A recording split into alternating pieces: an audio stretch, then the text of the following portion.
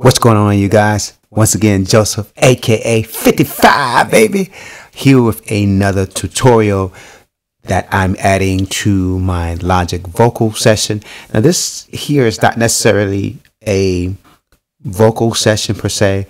It's and also it's a video that I done before, uh, but it actually wound up being on another channel. So I thought I would do this video again, better sound quality and the whole nine.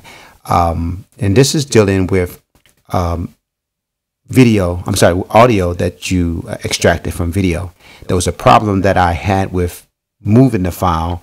Um, I couldn't find uh, the solution. Well, I'm sorry, I did find the solution, but it took me a while to find it. So I actually just made my own video just to show how to uh, resolve it. So now that it'll be easier to find.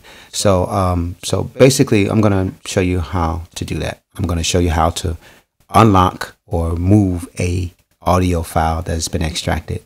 So let me let's just create the problem first. So I'm gonna drag and drop a movie file. This is an MP4 file into my um, session here. Then when I first try to drag and drop it, it's going to ask me what do I want to do with the movie. Do I want to open the movie or do I want to extract the audio? I'm going to unselect the open the movie and then I'm going to extract the audio file. Okay. So it creates a different, uh, a new track and it adds it. So the issue is I'm not able to move that mainly because it is locked. Why is it locked? It is locked to what is called a SMPTE lock, which meaning that it's locking itself to an uh, video file. So uh, Logic is not allowing it to be moved so that, you know, if you had an audio file with it, then um, it would sync it together and it would keep it locked with your movie file. It may be a glitch. It may be something that um, uh, have been fixed in the future. Um, versions, but right now it's SMPTE locked. So the way to, way to unlock that or get it to move, you just simply right click, you go, you scroll down to SMPTE lock, you just unlock the SMPTE lock position.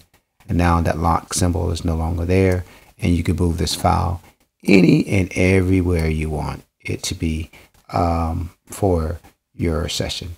I do hope this is something that you definitely can utilize. I really do appreciate you liking, following, and subscribing. Hit that notification button. And uh, we're going to keep it moving. Again, thank you so much. I'm Joseph with the Freqko channel, aka 55 Baby. Uh, stay tuned. There's so much more coming up. And uh, be sure to do what it said on the screen. And I'll talk to you soon. All right? Peace.